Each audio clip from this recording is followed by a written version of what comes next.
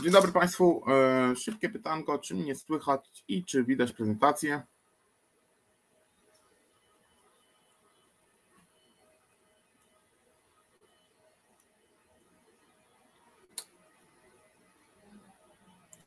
Świetnie. W takim razie e, dajemy sobie jeszcze 3-4 minutki na przygotowanie jakiejś kawki. Czekam na spóźnialskich i godzina 10.35 rozpoczynamy sobie nasze spotkanie. W takim razie e, chwilę jeszcze przerwy, dosłownie chwila na zrobienie kawki.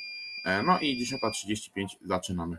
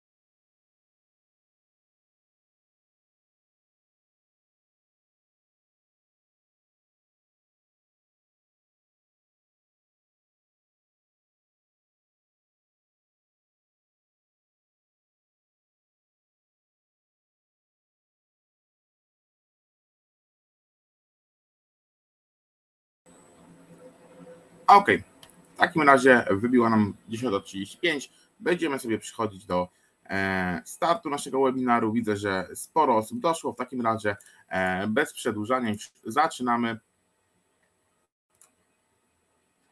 Ok, w takim razie. Dzień dobry Państwu, ja nazywam się Maciej Dudek, jestem inżynierem do spraw przedsprzedaży w naszej firmie EPA Systemy. No i dzisiejszego dnia poruszymy sobie tematy bezpieczeństwa naszego serwera NAS, omówimy sobie poziomy RAID, w sumie nawet nie będziemy ich omawiać, tak? Robiliśmy to na poprzednim webinarze. E, tutaj napomniemy tylko, że to jest podstawowy środek ochrony naszego serwera NAS. E, poruszymy sobie kwestie migawek, bezpieczeństwa, e, powiadomień i security konselora. W takim razie przechodzimy sobie do naszego rozkładu jazdy. Tutaj błędem daty, więc sobie przełączam dalej. No i tutaj zostawiam kontakt z nami, do mnie oraz do naszego produkt managera, kuna pana Piotra Chmielewskiego. E, I w linku poniżej mamy link do kontaktu z resztą naszych działów, czy to działu e, technicznego, czy to działu handlowego, czy też administracyjnego. E, z każdym z tych działów mogą Państwo się łączyć, kontaktować, komunikować tak w celu dogadania jakichś tam spraw, problemów, rozwiązania technicznych, czy to innych, więc serdecznie zapraszamy do kontaktu, służymy dla Państwa pomocą. No i nie przedłużając, przechodzimy sobie do naszej prezentacji.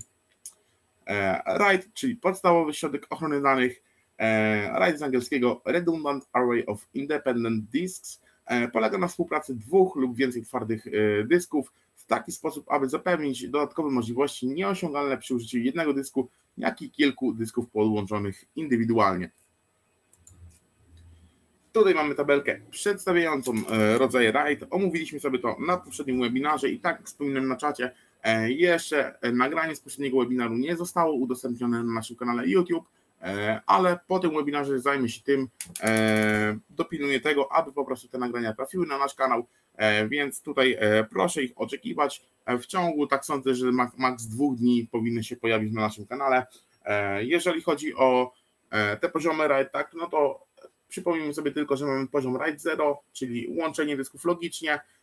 Każdy dysk da, zapewnia nam dodatkową przestrzeń, jest też to najszybszy RAID, RAID pierwszy, czyli RAID typu kopii lustrzanej, wykorzystujemy w tym dwa dyski. E, jeden dysk jest wierną kopią drugiego i w przypadku awarii e, drugi, któryś z dysków tak przejmuje rolę tego e, dysku, który trzymał nam system, więc tutaj mamy odporność na utratę tych danych. RAID piąty to już RAID, który Minimalne wymaganie dysków posiada 3, tak, czyli co, co najmniej z trzech dysków możemy go zbudować. Tutaj jeden dysk jest ochron, e, ochroną na naszą awarię, tak, czyli jeżeli jeden dysk nam się uszkodzi w naszej całej macierzy RAID 5, no to e, nasz serwer dalej pracuje. E, maksymalnie możemy zbudować go z 16 dysków i tutaj wydajność zapisu jest na, na pewno wyższym poziomie niż RAID 1, ale niższym niż RAID 0. RAID 3 to coś w podobie e, rajdu 5, tylko że tutaj mamy dwa dyski ochrony na awarię, e, więc e, budujemy go logicznie tak naprawdę z czterech dysków przynajmniej, no i również tak jak w przypadku rajdu 5 do 16 dysków grupa rajdowa. Następnie rajd 10, czyli tak zwany rajd 1 plus 0. Chodzi w nim o to, że łączymy sobie dwa rajdy 1, jednym rajdem 0, tak, czyli tworzymy sobie takie dwie podmacierze rajd 1, które są połączone rajdem 0, więc minimalne wymagania to tak jak w przypadku y, rajdu pierwszego jego akurat dwukrotność, tak, czyli 2 razy 2, 4 dyski minimum, e, no i tak możemy zbudować sobie kilka, wiele podmacierzy do 8, ponieważ maksymalna, e, maksymalne ograniczenie do jednego, jednej grupy rajd to 16 dysków.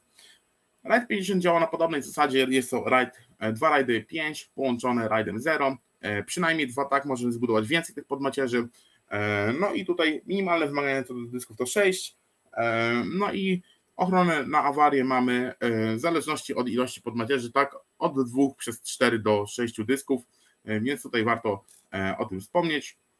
RAID 60 to jest tak samo jak poprzedniki, e, dwa rajdy szóste połączone e, rajdem 0, przynajmniej dwa rajdy szóste, tak, e, więc tutaj minimalne wymagania dysków skaczą nam do dwukrotności minimalnych wymagań rajdu szóstego, czyli 8 dysków aż, no i w każdej podmacierzy dwa dyski chronią nas przed awarią, więc tak naprawdę przy maksymalnej grupie rajd 16 dysków, no to te cztery dyski przynajmniej nam odchodzą na nasze zabezpieczenie macierzy. No i Write Triple Parity, czyli e, write dostępny tylko na systemach e, e, QTS Hero i QES. Jest to write, który, którego minimalne wymaganie dysków to 5, a tolerowana liczba awarii dysków to 3, tak? Czyli dopiero uszkodzenie czwartego dysku powoduje nam nieodwracalne uszkodzenie naszych danych, tak? Nie będziemy mogli ich odczytać, nie, będziemy mieli do nich dostępu, więc tutaj warto o tym wiedzieć, ale głównie ten light wykorzystuje się w jakichś macierzach typu All Flash, gdzie rzeczywiście musimy mieć wysoką wydajność, więc tutaj takie krótkie informacje. Dokładnie to było omówione na poprzednim webinarze, więc tak jak wspominałem, będzie to jeszcze poruszone na naszym kanale YouTube. Ok, przechodzimy sobie dalej. Notification Center, czyli nasze centrum powiadomień w systemie QTS. Obejmuje ono wszystkie zdarzenia i alerty naszego systemu. Oznacza to, że zamiast konieczności konfigurowania ustawień w kilku aplikacjach, użytkownik ma do dyspozycji rozwiązanie oparte na jednej wszechstronnej aplikacji. Dzięki centrum powiadomień przez cały czas, e, przepraszam, dzięki centrum powiadomień przez cały czas mamy scentralizowany dostęp do wszystkich powiadomień i dzienników systemów, e, wszystko w jednym oknie. W sekcji konto i usługi e, i łączenie urządzeń dostępne są cztery metody powiadamiania. E-mail możemy sobie połączyć z serwerem SMTP Gmaila, Outlooka, Yahoo Maila i tym podobne, oczywiście naszego e, customowego serwera SMTP. Usługi SMSC typu Clicatel, Nexmo, Twilio i tym podobne. Błyskawiczne wiadomości w tym momencie tylko i wyłącznie Skype. No i powiadomienia push na nasz telefon oraz na nasze komputery poprzez aplikację mobilną Q-Manager i przeglądarki internetowe w przypadku naszych PC-ów. Można wybrać sobie jedną z tych metod lub korzystać z kilku jednocześnie, aby mieć pewność, że nasze ważne powiadomienia zawsze do nas e, dotrą. Aplikacja pozwala nam na personalizowanie reguły powiadomień w sekcji e, reguły powiadomień systemu. Możemy sobie zdefiniować reguły wysyłania powiadomień za pomocą poszczególnych metod. Z kolei sekcja ustawienia globalne powiadomień umożliwia globalne włączenie lub wyłączenie określonych typów powiadomień dla poszczególnych metod ich wysyłania. Ustawienia te pozwalają nam elastycznie kontrolować częstotliwość i sposoby powiadomienia e, naszych użytkowników o tym, co dzieje się na naszym e, kunapie. Tutaj mamy okno właśnie tego, jak tworzymy sobie jakieś tam zasady powiadomień. W tym przypadku tworzymy sobie tutaj zasady dotyczące informacji, ostrzeżeń oraz błędów. E, pokażemy sobie to oczywiście dzisiaj w praktyce, więc przechodzimy sobie dalej. No i tutaj mamy przykładowe e, skonfigurowane jakieś tam powiadomienia, które zostały e, do nas wyrzucone. Jak widać, metoda, którą sobie tutaj ktoś wybrał, tak, no to jest push service, czyli powiadomienia wypychane. I jak widać, admin Windows Fire, to pewnie będzie Firefox, tak, poprzez przeglądarkę Firefox wypychał to sobie na na ekran naszego Windowsa po to, aby na bieżąco być informowanym przez nasze e, powiadomienia. Migawki, czyli standardowa funkcja QNAP. E, jest to kolejna z funkcji, która zapewnia nam wyższe bezpieczeństwo naszej macierzy. E, tutaj są cztery filary. Migawki woluminów jednostek LUN, migawki oparte na blokach, przechowywanie wersji i błyskawiczne przywracanie. E, migawki woluminów i jednostek LUN daje nam możliwość ochrony folderów i plików NAS oraz jednostek LUN iSCSI. Daje nam e, migawki dają nam e, obsługę przerostowych kopii zapasowych, które zapewniają nam oszczędność miejsca poprzez kopiowanie tylko zmodyfikowanych danych.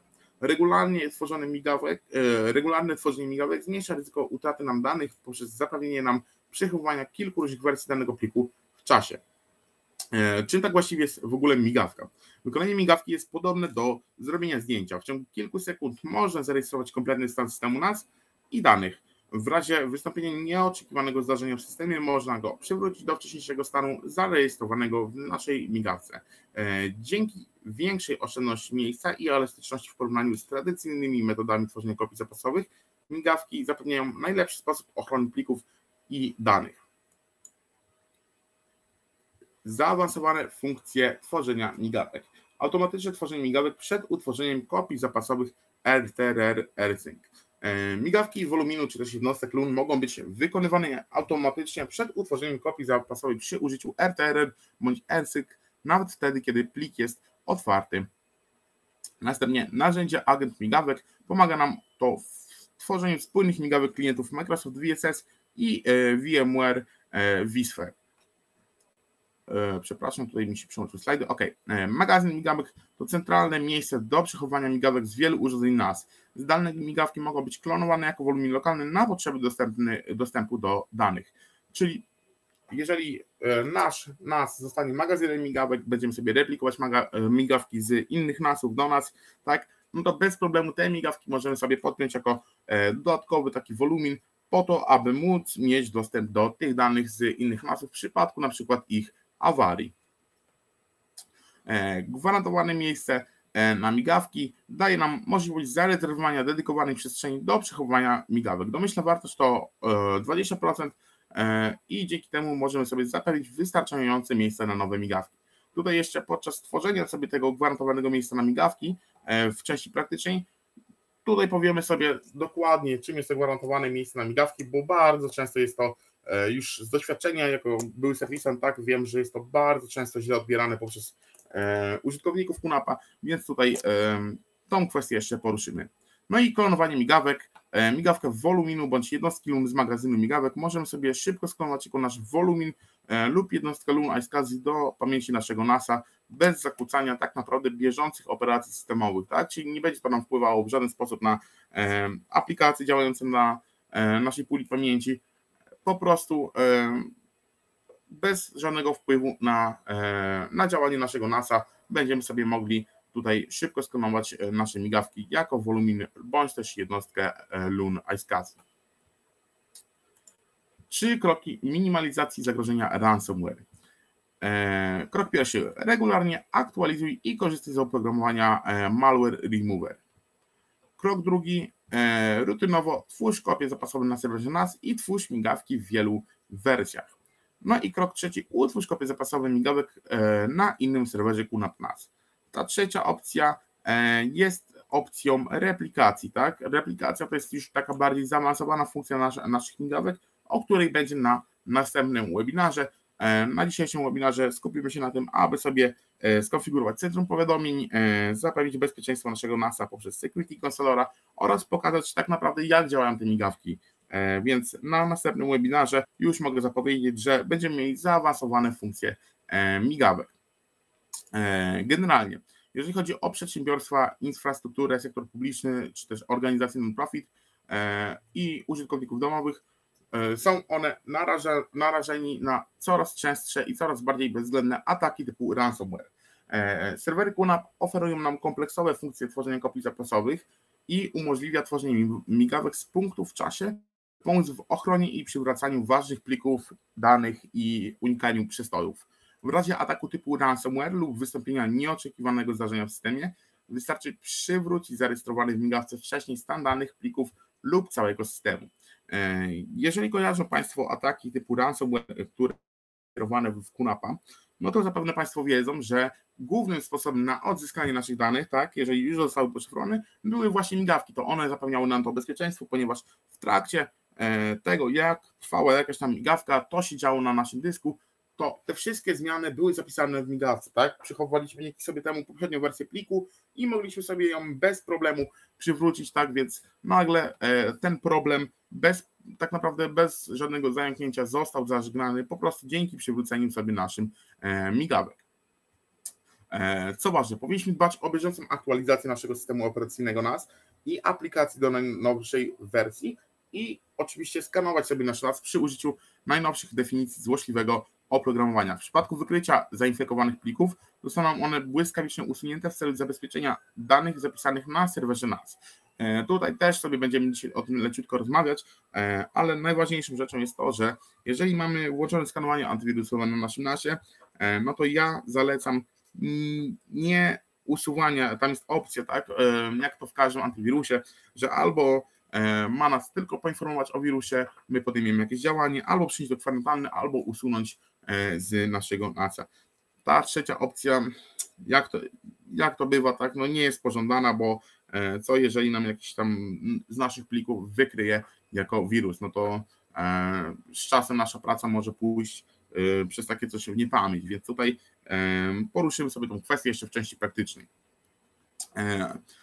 Jeśli komputery w naszej sieci zostaną zainfekowane przez oprogramowanie typu ransomware lub też wystąpi jakieś nieoczekiwane uszkodzenie, migawki mogą nam właśnie posłużyć do natychmiastowego przywrócenia danych. Więc to jest ta, to piękno tych migawek, tak? E, te wszystkie zmiany, które nastąpią, będą wrzucone w migawkę e, i będziemy mogli sobie przywrócić bezpośrednio poprzednią wersję pliku. Więc to jest coś, co jest dla nas pożądane właśnie, zwłaszcza w przypadkach e, ataku typu ransomware. Ok. Prosty menedżer migawek. Jest to, jak widać, prosty menedżer przywracania, który pozwala nam na szybkie przywrócenie całego woluminu, bądź tak naprawdę pojedynczego pliku. E, za jego pomocą bez problemu skonfigurujemy takie rzeczy jak gwarantowane miejsce na migawki, czy też harmonogram ich tworzenia. Replikacje migawek. Funkcja replikacji migawek replikuje migawki do magazynu migawek na zapasowym nasie w celu kontroli wersji i zarządzania nimi.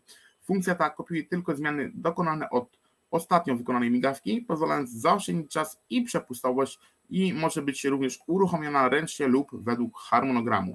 Pliki migawek można bezpośrednio przywracać i używać na tym zapasowym serwerze NAS. Jak widać z trzech NASów, naszych primary NASów, czyli tych głównych, tak, e, snapshot replika, e, migawki są replikowane właśnie na nasz zapasowy NAS. No i na tym zapasowym NASie bez problemu możemy sobie te migawki pochodzące z tego, tego i tego serwera przywrócić po to, aby e, aby mieć dostęp do tych danych w razie awarii któregoś z tych serwerów. E, I to jest bardzo fajna funkcja, tak? Czyli nie musimy ich później na, jakby na nowo stawiać tego kunapa, tak? I przywracać sobie z tego serwera z powrotem tam migawkę, tylko możemy sobie tą migawkę bezpośrednio podpiąć na tym serwerze e, i na niej działać. Więc tutaj dzięki temu e, dostęp do danych jest zapewniony praktycznie ciągle. Lokalne lub zdalne przywracanie migawek przywracanie i klonowanie, e, dzięki któremu możemy w kilka sekund przywrócić cały wolumin lub jednostkę luny, bądź sklonować migawkę woluminu lub jednostki luny jako nowy wolumin lub jednostkę iSCSI luny na naszym serwerze, na, e, serwerze NAS. Równie łatwe jest przywracanie wybranych plików i folderów. E, wiele miejsc docelowych. Zawartość migawek może szybko przywrócić na lokalny serwer NAS, a także przywracać tylko wybrane foldery i pliki na lokalny lub zdalny serwer NAS, bądź do przestrzeni w chmurze. Przywracanie po stronie klienta użytkownicy, e, użytkownicy łączący się poprzez SMB, SIFT czy AFP mogą wygodnie przywracać sobie, e, przyglądać sobie najnowsze migawki w folderach udostępnionych, aby kopiować i przywracać dane z tychże migawek. No i zdalne przywracanie, funkcja ta yy, zdalnego przywracania, tak, tworzenia i przywracania kopii zapasowych zapewnia nam podwójną ochronę przy minimum przystojów. Jeśli nasz lokalny NAS nie działa, można bezpośrednio przywrócić sobie kopię zapasowej migawek na zdalny serwer NAS co zapewni nam ciągłość działania lub po prostu sklonować migawkę woluminu 41 LUN jako wolumin lub jednostkę LUN na zdalnym serwerze NAS. E, no i tutaj teraz ważna kwestia ograniczania dotyczące tworzenia migawek, czyli ilość migawek w zależności od naszego serwera e, NAS. E, I teraz tak, jeżeli w naszym znajduje się procesor Intela i mamy zainstalowane 1 giga bądź mniej, no to dla, możemy e, wykorzystać tylko na nasie 32 dwie migawki, tak, a na wolumin jednostkę LUN opartą na blokach 16 e, e, migawek. W przypadku już 2 giga pamięci bądź pomiędzy 1 a 2 giga, no to możemy sobie utworzyć 64 migawki, a na wolumin czy też jednostkę LUN może to być 32 migawki. No jeżeli mamy już pomiędzy 2 a 4 i więcej, tak, no to E, możemy sobie utworzyć do 1024 migawek, no i w przypadku woluminów jednostek LUN e, może być to 256 na taki wolumin bądź jednostkę LUN. E, no i tutaj ważna sprawa, jeżeli chodzi o migawki, w przypadku, to jest w przypadku odniesienia do QTS, tak? My sobie pracujemy na tych webinarach na systemie QTS, no i też tutaj właśnie poruszamy kwestię systemu QTS, jeżeli chodzi o system QTS Hero oraz QS, czyli systemy oparte na systemie plików e, ZFS, no to tam w każdym przypadku możemy utworzyć do 65 tysięcy migawek 536. E, więc tak naprawdę, e, jeżeli migawkę byśmy wykonywali co godzinę, no to w przypadku serwera, który obsługuje QTS Hero oraz bądź QES, tak, no to tak naprawdę możemy sobie utworzyć ponad 7 lat migawek e, przechowywanych na naszym naszym, więc tutaj jest bardzo, bardzo duża ilość. Dalej. E, AMD, no i tak naprawdę jest to tak samo jak w przypadku Intela, jeżeli mamy do 1 GB pamięci RAM bądź 1 GB, to jest 32 migawki na naszego NASA i 16 per volumin bądź LUN. W przypadku do 2 GB to jest 64 na cały system i 32 per volumin bądź LUN. No i w przypadku 4 GB lub więcej, pomiędzy 2 a 4 tak lub więcej, no to jest 1024 migawki na naszym nasie i 256 per volumin bądź LUN. Ok, następnie serwery QNAP NAS z, z, z procesorem Zaolsin, no to w przypadku tak jak poprzednich, tak jest to 32 dla, do 1 GB pamięci RAM na całym nasie, a 16 per volumin bądź LUN. W przypadku do 2 GB jest to 64, a 30, 64 na całym nasie, a 32 per volumin bądź LUN. I w przypadku 2 do 4 GB i oczywiście więcej, no to jest 1024 migawki i 256 per volumin bądź LUN. Tutaj dla procesorów typu ARM, w tym przypadku Marvel, będzie to do 1 GB 32 migawki a 16 per volumin bądź LUN. Pomiędzy 1 a 2 GB i 2 GB równe, tak, no to 64 migawki i 32 pomiędzy volumin per LUN. No i do 4 GB i więcej oczywiście, no to mamy do 256 migawek na całym nasze, no i do 64 na volumin bądź LUN. No i tu ostatnie dwa procesory typu ARM. W przypadku Anapura Labs będzie to tak samo jak w przypadku procesorów typu Marvel, no to będzie do 1 GB bądź 1 GB, to jest 32 migawki na cały nasz NAS, bądź 16 per volumin LUN. Do, pomiędzy 1 a 2 GB i 2 GB, no to jest 64 migawki na cały NAS i 32 per volumin bądź LUN. No i w przypadku pomiędzy 2 a 4 GB już i więcej oczywiście, no to 256 migawek na cały NAS i 64 per volumin bądź LUN. No i tutaj NAS z procesorem Realtek, no to już jest ograniczone mocno, no bo mamy tylko do wyboru do 2 GB, tak? No i jeżeli to będzie poniżej bądź 1 GB, to jest 32 na cały system, 16 na volumin bądź LUN, no a w przypadku do 2 GB, tak, pomiędzy 1 a 2 GB, no to jest 64 na cały NAS i 32 pomiędzy volumin a LUN. Ok, w takim razie będziemy sobie przechodzić powoli do części praktycznej. Jako osoba nie kunapowa, czy można backupować całego hosta, stację roboczą? Jeżeli chodzi o backupowanie całego hosta stacji roboczej, chodzi panu, panie Pawle, o obraz bare metalowy, czy bardziej o nawet kopię plikową? To proszę tutaj o jakby doprecyzowanie i odpowiem zaraz na to pytanie. Pan Tomasz, czy możemy tworzyć osobny harmonogram migawek dla poszczególnych zasobów? Jak najbardziej, jak najbardziej nie ma z tym większego problemu. I to, i to. Jeżeli plikowo, to tak, możemy robić sobie kopię poprzez aplikację Netback Replicator. Jeżeli chodzi o bare metalowe, to jeszcze takiej funkcji nie ma, ale zostało to już zaprezentowane przez Kunapa na e, ostatniej, jednej z większych konferencji, tak. No i w Prawdopodobnie w tym roku możemy się jeszcze spodziewać tego rozwiązania. Będzie to wbudowane w aplikację Hyperdata Protector, która w tym momencie pozwala nam już tworzyć kopie maszyn wirtualnych. Tak więc w tym roku ta funkcja będzie na pewno dodana. Ok, więc odpalamy sobie naszego NASA. Proszę sekundkę mi dać. Ja już go znajdę.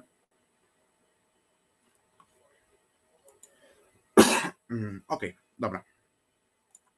To będzie to. W porządku. W takim razie tak. Mam tu swojego NASA. W moim przypadku dzisiaj jest to serwer 2.5 TS253E. Jest to nowy model, który będzie wspierany przez Kunap. Wspominał, że jest do 2028 bądź 30 roku, nie pamiętam dokładnie, ale jest to model, który będzie miał bardzo długie wsparcie. Więc jak widać, jest to model 2, TS253E z 8 GB pamięci. Skoro pracujemy na systemie QTS, jest to procesor Intel, no to już wiemy, że będę mógł utworzyć do 1024 migawek i może to być 256 per volumin bądź LUN. Ok, i w takim razie zaczniemy sobie od najważniejszych rzeczy. Na początku, jeżeli chodzi o bezpieczeństwo, no to aplikacja Security Counselor. Ja tą aplikację już pobrałem przed webinarem, a aplikację możemy pobrać bezpośrednio z App Centera, tak? Wchodząc sobie w App Center. No i wyszukując y, tutaj we wszystkich aplikacjach Security Counselor, sekundkę sobie tylko zamknę patrz wypadek, ok. Stąd możemy sobie pobrać, ewentualnie znaleźć po prostu nasz model w, e, na stronie Kunapadek, przejść do pobierania, e, no i tam będziemy mogli sobie aplikację po, pobrać i również z poziomu Absentera bezpośrednio wgrać. Tutaj klikając sobie tą ikonkę, tak, będziemy mogli wskazać plik pobrany na nasz komputer e, i ręcznie zainstalować tak naprawdę naszego, naszą aplikację. W takim razie uruchomimy sobie aplikację Security Counselor i będzie to pierwsza rzecz, którą dzisiaj zrobimy, tak, czyli ważna rzecz, zabezpieczenie, zabezpieczenie naszego NASa. Ogólnie, jeżeli sobie wdrażamy nas od zera, tak, no to bardzo ważną rzeczą jest to, żeby zachować jakby pewną kolejność wdrażania tego NASA. Na początku jest to oczywiście inicjalizacja go, następnie utworzenie e, puli pamięci, woluminu, tak, czyli utworzenie naszych e, tak naprawdę miejsca naszego przechowywania, no i zanim zaczniemy działać na danych, odpowiednie zabezpieczenie naszego NASA. No i tutaj w tym przypadku właśnie, jeżeli nie jesteśmy zaawansowanymi administratorami, tak, jeżeli nie wiemy, co dokładnie należałoby zrobić, żeby zabezpieczyć e, nasz NAS, no to aplikacja Security Consultor przychodzi nam z pomocą. E, uruchamiamy sobie tą aplikację, e, no i tutaj mamy trzy opcje do, e, do wyboru. Podstawowe zasady bezpieczeństwa, pośrednie oraz zaawansowane. Ja wybieram oczywiście zaawansowane zasady bezpieczeństwa, bo chcemy zapewnić to, że nasz kura na pewno będzie zabezpieczony odpowiednio tak, że chcemy się ochronić przed tymi atakami, między innymi właśnie typu ransomware, więc wybieram sobie tą zasadę i skanuję.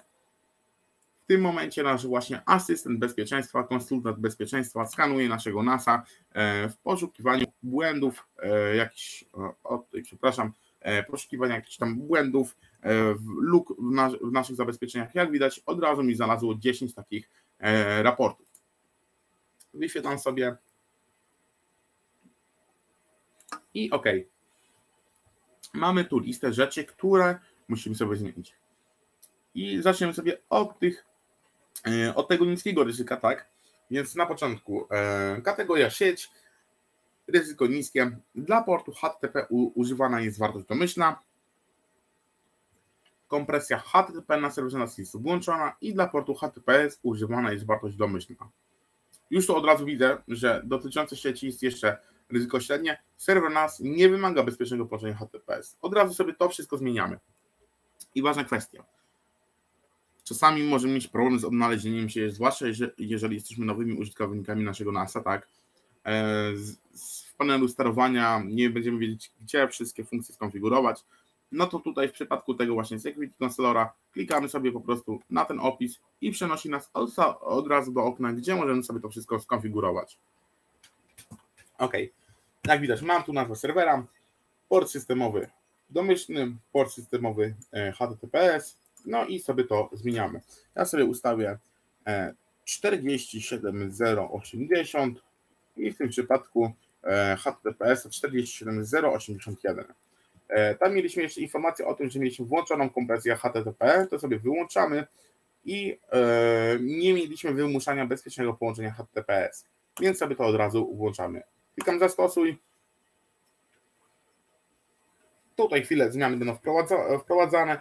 Jak już się wprowadzą, tak, no to od razu nasz nas każe nam przejść na nowy adres, ponieważ adres się zmienił. Jak widać, tutaj się łączymy po porcie 8080, czyli tym domyślnym, który jest na kunapie e, dla systemu zdefiniowany, a my tutaj będziemy teraz się musieli połączyć poprzez HTTPS, bo mamy wymuszenie oczywiście, więc 47081.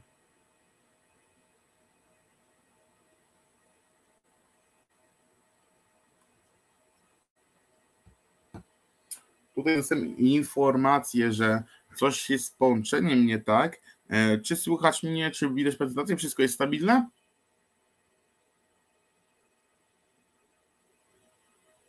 Ok, świetnie. Ok, w takim razie zmiany nam się zastosowały. Klikam sobie, aby przejść do nowego adresu. I tutaj bardzo, bardzo ważna kwestia. Mamy tutaj już połączenie do naszego NASA poprzez adres lokalny, tak? Y, po takim adresie dostaniemy się tylko z naszej sieci lokalnej. No i tutaj często, często użytkownicy się skarżą, że mają właśnie informację o tym, że połączenie nie jest prywatne. E, no i aby wejść na naszego NASA, musimy tutaj e, sobie w przypadku na przykład Chroma, no to jest zaawansowane i otwórz stronę i pisze nam, że jest niebezpieczna, tak? HTTP jest przekreślony, czerwony wykrzyk, niebezpieczna strona. E, no i tutaj bardzo często użytkownicy mają z tym problem. A tu chodzi tylko o jedną rzecz, o certyfikat, tak? Jak widać, że ten serwer nie mógł udowodnić, że należy do naszego adresu IP. Jego certyfikat bezpieczeństwa nie jest zaufany w systemie operacyjnym tego komputera. No i tutaj bardzo ważna kwestia, tak naprawdę nie musimy się tym w ogóle przejmować w sieci lokalnej, tak? Jeżeli taki, takie coś by nam wyskoczyło na jakimś tam, e, na, na jakiejś zewnętrznej stronie, tak? Czy byśmy się dostawali przez e, sieć e, WAN i tutaj by to wyskakiwało, no to jest problem, tak? Jeżeli jest to w lokalnej, no to się tym nie przejmujemy, ponieważ certyfikat wyrabiamy na adres domenowy, nie na adres lokalny, tak? No to tutaj bardzo ważna kwestia, tym się tak naprawdę w sieci lokalnej nie przejmujemy. Przechodzę sobie dalej. No i loguję się z powrotem do naszego NASA. Jeszcze raz sobie teraz Security Consolem przeskanujemy e, naszego NASA, zobaczymy czy te błędy znikły. Jeżeli znikły, no to przejdziemy sobie do kolejnych e, rzeczy. Także Security Consolor, później,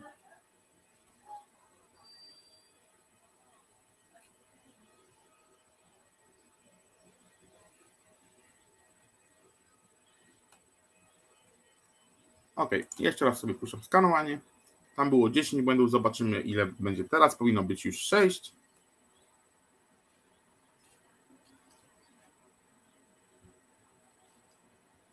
Sześć. Ok, super. W takim razie wyświetlam raport. No i dalej. Powiadomienia e-mail o nowych wersjach oprogramowania systemowego są wyłączone. Powiadomienia wypychane o nowych wersjach oprogramowania systemowego są wyłączone. Ok. To jest niskie ryzyko. E, następnie na serwerze NAS nie wykonano skanowania antywirusowego w ciągu ostatnich 30 dni. Serwer NAS nie wymusza zmian haseł do kont co 90 dni. I zaznaczenie tego ustawienia zostało anulowane na ekranie dotyczące haseł wymagają używania haseł, które zawierają litery, litery i cyfry angielskie, a także co najmniej jedną dużą i małą literę. OK. E, to na początku przejdziemy sobie do skanowania antywirusowego. Wybieram sobie panel sterowania, E, tutaj nas od razu przeniesie do zakładki antywirus. No i pierwsza rzecz, którą musimy zrobić, no to oczywiście go włączyć, tak? Włącz antywirus, zastosuj. Jak widać, definicje wirusów ostatnie były, tam pokazało 18 e, czerwca tego roku.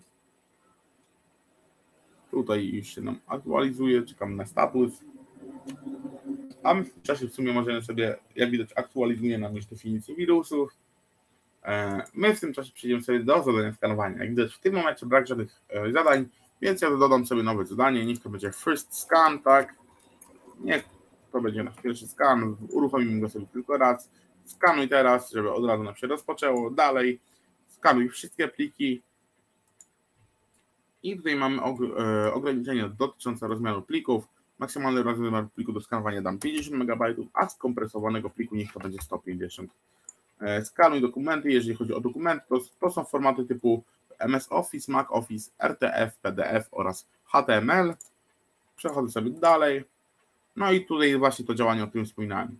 Tylko poinformuj o wirusie, przenieś zainfekowane pliki do kwarantanny i usuń zainfekowane pliki automatycznie. O ile mamy teraz w tym momencie, jak ja pustego NASA, możemy sobie zatrzymać tą opcję usuń zainfekowane pliki automatycznie, o tyle, kiedy mamy już jakieś dane swoje, tak, jeżeli na przykład nie wiem, zajmujemy się pisaniem kodu i nasz, nas jest naszym storage'em, wrzucamy tam swoje kody, tak, e, jakieś tam programy, które sobie e, piszemy, no to mamy e, oczywiście różne tego typu, różne rozszerzenia typu .py, .cpp, zależnie od tego, co po prostu tam klepiemy, jaki kod, no i czasami takie coś potrafi zostać wykryte jako wirus, więc tutaj warto przenieść sobie zainfekowane pliki do kwarantanny, Oczywiście, jak mamy skonfigurowane reguły powiadomień, dostaniemy o tym informację i wtedy sami zdecydujemy, co robimy z tym plikiem. Wybieram to, zakończ. No i tutaj już tak naprawdę skan leci. Jak widać, definicję wirusu, wirusów zaktualizowano na dzień dzisiejszy z godziny 3.30, więc definicje wirusów są najnowsze. Tutaj zadanie już e, się uruchamia, a my w tym czasie przejdziemy sobie e, dalej. Oprócz skanowania weryfikacji dwuetapowa, tego nie pokażemy, bo nie ma sensu, po prostu nie mam jak udostępnić telefonu po prostu na click meetingu, więc e, tak naprawdę nie pokażę jak to działa, ale wszyscy raczej wiedzą jak weryfikacja dwuetapowa działa. E, po prostu z pomocą jakiejś aplikacji skanujemy sobie e, kod QR, który nam się wyświetli na naszym liście, e, wtedy będziemy musieli potwierdzić to kodem, który nam wyskoczy w tej aplikacji. Ja używam na przykład Google Authenticator, tak? Musimy potwierdzić to kodem i przy każdym logowaniu będziemy musieli po prostu logowanie zatwierdzić kodem generowanym na naszym telefonie. Więc tutaj tak działa weryfikacja dwuetapowa, tego nie będę pokazywał. Następnie polityki dotyczące haseł. Przechodzę sobie w to miejsce.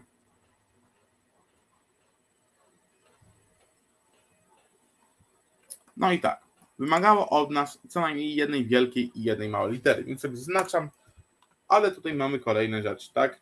Łączenie z następującymi literami, litery cyfru, yy, litery alfabetu angielskiego już mamy co najmniej jedna wielka i mała litera, cyfry, ja sobie dodam znaki specjalne, tak, czyli wymaganie będzie dodatkowo znak specjalny w moim haśle i w haśle wszystkich użytkowników oczywiście. Yy, następnie nie należy używać znaków powtarzających się po sobie co najmniej trzy razy i to jest bardzo dobra praktyka żeby nie było haseł typu AAA, BBB, 1, 2, 3, tak? E, więc ja sobie to zaznaczam i nie można stosować powiązanej z kontem nazwy użytkownika lub jej litery w odwróconej kolejności. I to również sobie zaznaczam, ponieważ dzięki tej funkcji tutaj pani Maria nam nie utworzy hasła Maria 1, tak? No to, to, to dla nas będzie akurat ważne w przypadku działania jakiejś tam organizacji, aby nasi użytkownicy mimo wszystko pilnowali e, się z tymi politykami bezpiecznych haseł, a to tak naprawdę oprócz yy, po prostu zabezpieczenia dodatkowego naszego NASA wy, wyrabia dobrą praktykę stosowania silnych haseł wszędzie, tak? Więc tutaj bardzo ważna kwestia. Minimalna długość 8 może zostać ogólnie tak. 8 yy, nie jest jakąś tam małą cyfrą. Jeżeli mamy już 8 znaków, przy tym używamy co najmniej jednej wielkiej litery, co najmniej jednej małej, znaku specjalnego i cyfry, no to hasło już nie jest takie proste do złamania. E, ok, no i zmiana hasła. E, wymagamy sobie, aby użytkownicy co jakiś czas musieli zmienić hasło. E, tutaj jest maksymalny wiek hasła w dniach 90 dni. Ja sobie ustawię na 60. I teraz bardzo ważna kwestia, przepraszam. bardzo ważna kwestia. Mamy tu funkcję wyślij wiadomość e-mail do użytkowników tydzień przed wygaśnięciem ich hasła. na poprzednim webinarze pokazywaliśmy sobie, że jak tworzymy użytkownika, możemy mu przypisać jakiś tam adres e-mail, tak?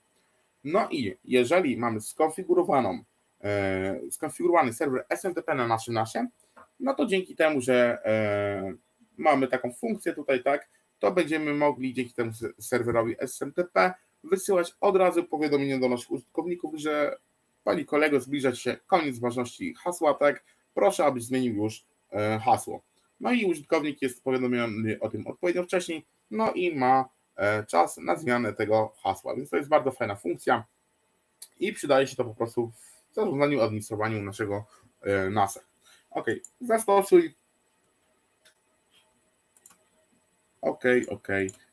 No i sobie co? Przeskanujemy jeszcze raz. Powinno zniknąć dotyczące skanowania antywirusowego i dotyczące haseł.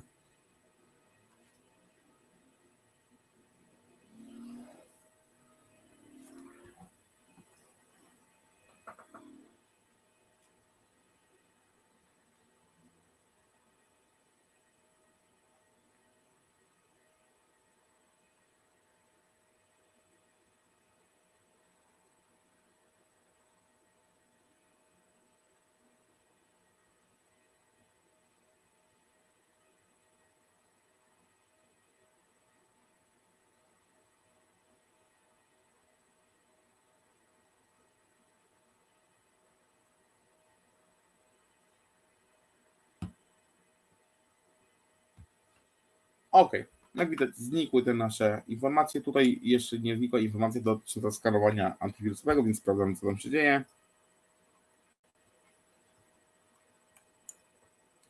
Ok, postęp 2%, więc tu się troszkę skanuje. Ach, ok, dobra, bo nie wskazałem odpowiedniej lokalizacji, szybko zacząć to zadanie. Tam mi skanuje. E, ok, jeszcze raz. First scan 2 to powiedzieć, że tu mam drugi dysk jeszcze ułożony i ja tutaj chcę tylko wymiana sobie przeskanować. OK. I sobie tylko to skanujemy. Skanuj teraz. Dalej.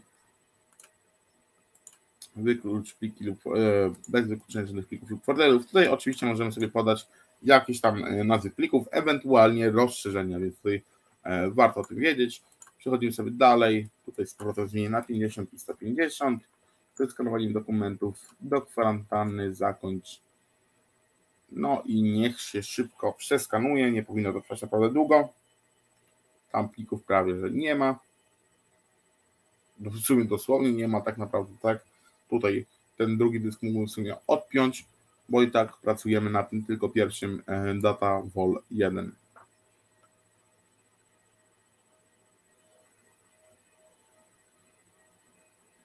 Ok, skanowanie się wykonało, więc tutaj już to powinno zniknąć po, po ponownym przeskanowaniu.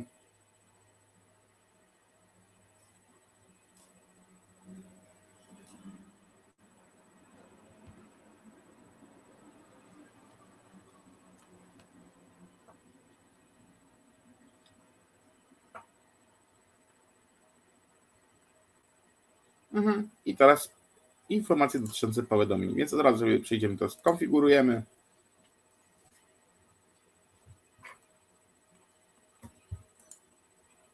Oczywiście samouczek pominiam. No i jak widać mamy tutaj 25 ostrzeżeń w tym miesiącu, błędów 8. OK, to nas za bardzo nie interesuje. Interesuje nas skonfigurowanie tutaj reguł powiadomień systemowych. I najważniejsza rzecz, na początku, aby jakoś tam te powiadomienia sobie przesyłać, musimy skonfigurować sobie parowanie urządzeń i nasze usługi. Tutaj mamy usługę e-mail, SMS, komunikator i powiadomienia wypychane. My sobie skonfigurujemy na pewno usługę e-mail, no i tutaj będzie konto Gmail, tak? Ja sobie jako serwer SMTP konfiguruję konto Gmail. Mam tutaj jedno takie testowe utworzone. E, ok, nie mam go podłączonego, więc szybko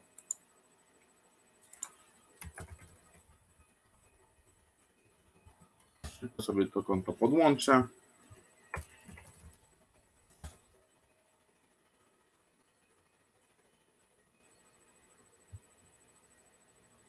Nawet hasło pamiętam, więc jest dobrze, ok. No i jak widać tutaj od razu nam już zautoryzowało to.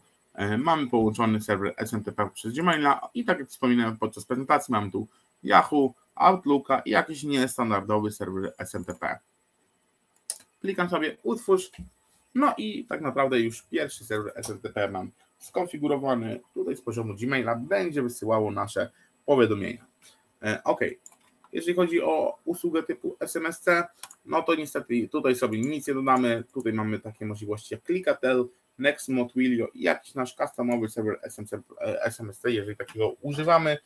Ja takich serwerów nie wykorzystuję, więc tutaj e, to sobie całkowicie pominiemy. E, komunikator. Komunikator ma możliwość połączenia ze Skype'em. Pokażemy sobie, tylko muszę się zalogować do sieci na Cloud. Tutaj, aby zalogować się do na Cloud, tak, no to musimy albo zalogować się nasze konto QNAP ID, albo utworzyć sobie QNAP ID, tak. Ja już mam takie konto utworzone.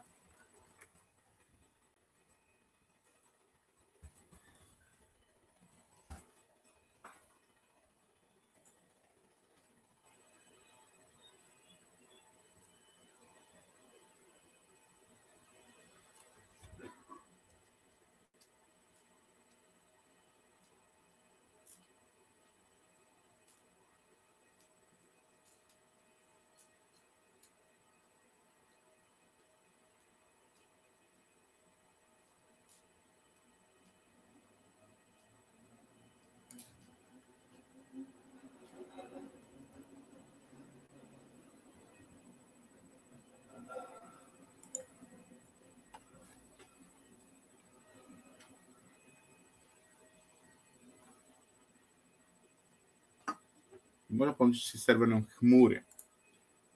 OK. Połączenie internetowe raczej na pewno mamy. Szybko sobie to zweryfikujemy, chociażby wyszukując w App Centerze jakiejś aplikacji, bo może być tak, że no, może w tym e, momencie jakaś jakby usługa MyQNAP Cloud nie odpowiada u, po stronie QNAPa, no wtedy niestety sobie tego nie skonfigurujemy. OK. E, nie no, wykryło mi wszystkie aplikacje, tak? Sprawdzimy jeszcze, czy coś mogę pobrać. To tutaj sobie już dam z góry anuluj.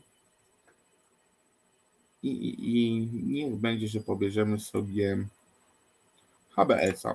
To się przyda pod następne webinary, więc pobierzemy sobie HBS-a.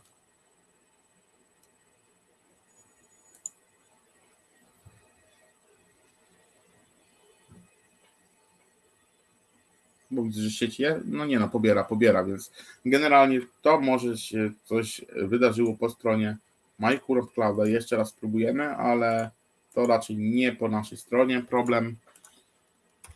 m.dudek.epasystemy.pl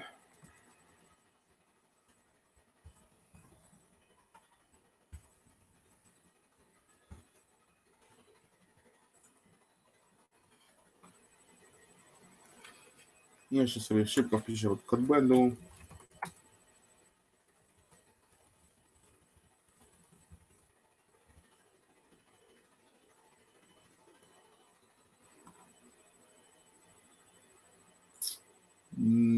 Niestety nic nie widzę dotyczącego tego kodu, więc wracamy sobie tutaj. Mam nadzieję, że tym razem się połączę. O, no i jest. No i teraz musimy po prostu nazwać nasze urządzenie w jaki sposób. Ja sobie to nazwę webinar 182 albo zrobimy tak, webinar e, letni webinar Kunal. Ok. Dalej, dalej tutaj i tutaj nam się to już konfiguruje.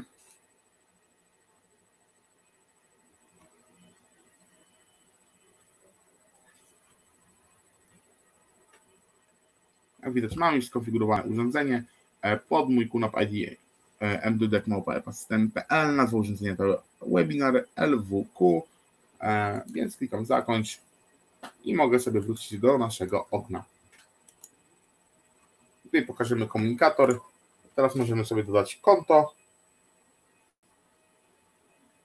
I jak widać, w tym momencie dostępny jest tylko i wyłącznie Skype.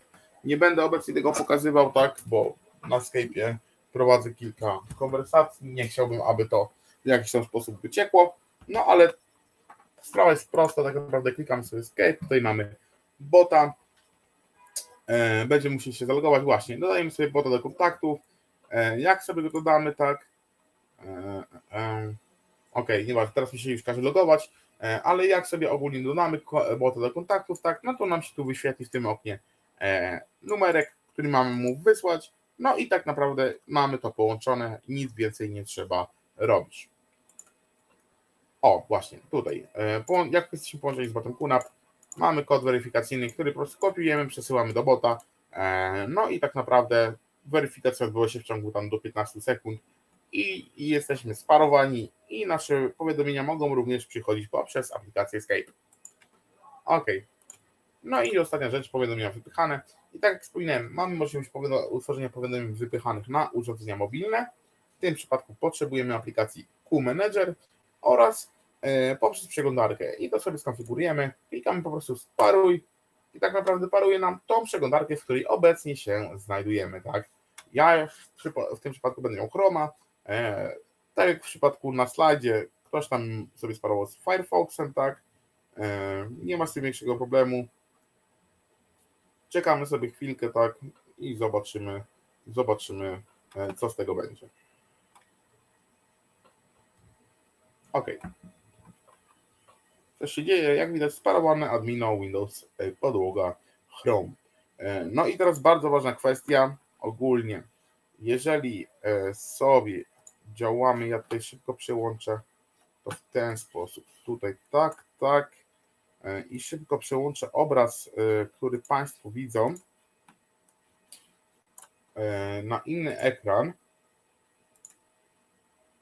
bo chcę pokazać, zmień ekran, ok.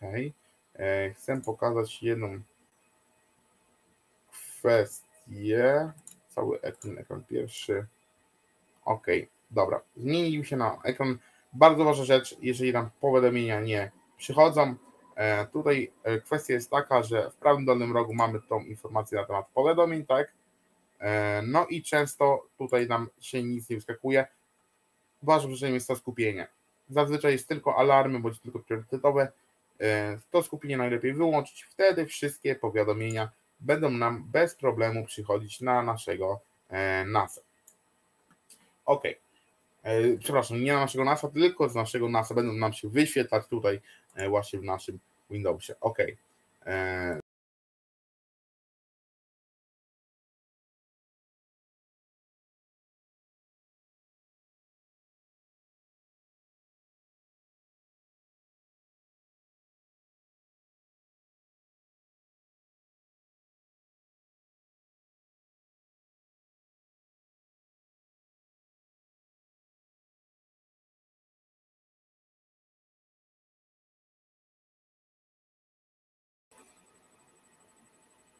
Ok, podczas przełączenia ekranu dodatkowo mi chyba wyrzuciło połączenie. Jestem z powrotem, czy wszystko widać, czy mnie słychać?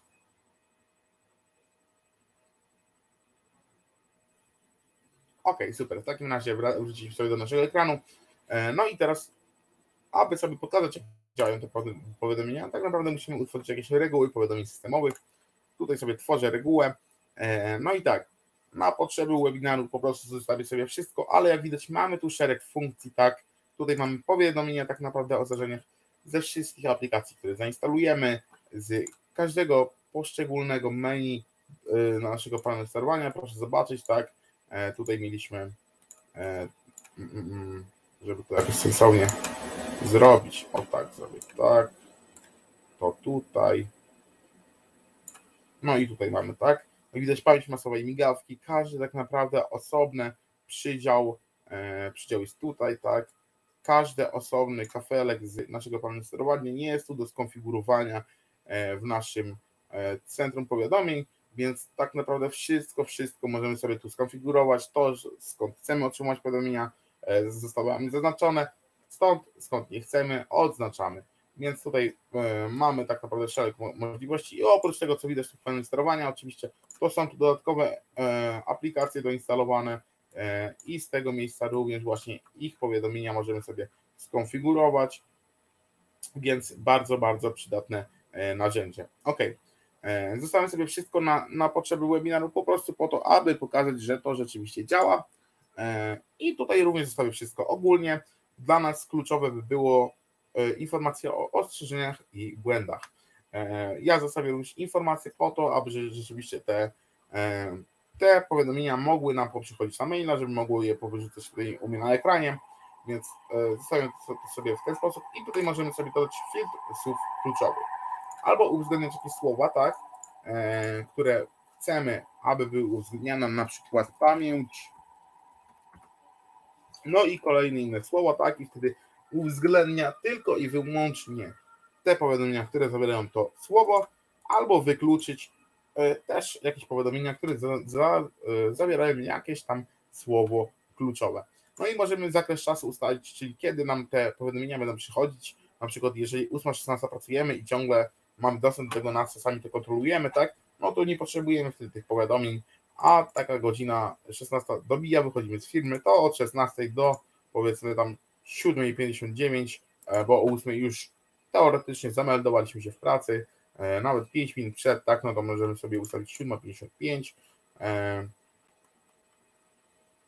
7.55, e, tak, no i w okresie od 16 do 7.55 będą te powiadomienia przychodzić, po tym okresie nie będą nam przychodzić, ponieważ na przykład stwierdziliśmy, że będziemy na miejscu i będziemy to sami kontrolować.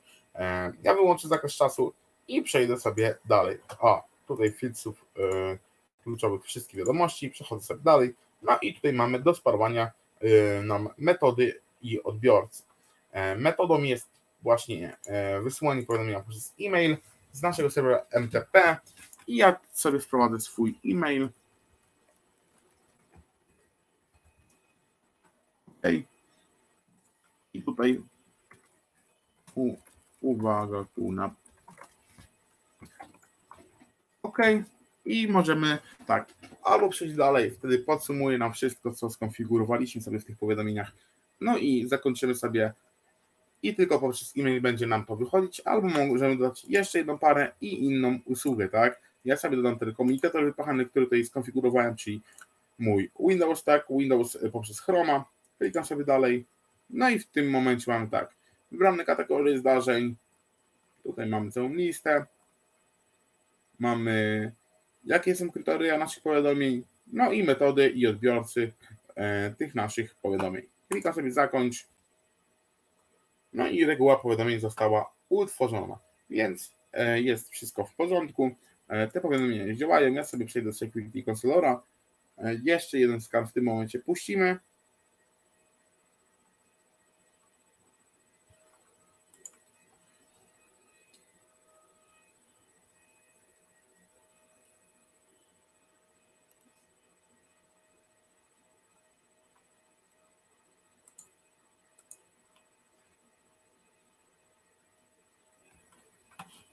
A już sobie w innym oknie odpalę swoją pocztę, żeby sprawdzić, czy już powiadomienia przychodzą.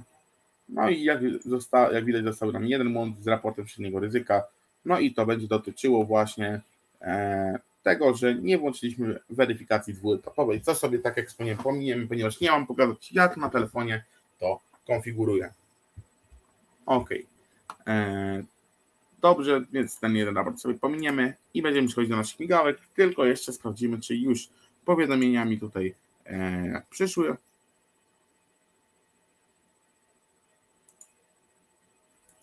Czy najpierw sobie wykonamy jakieś tam działania.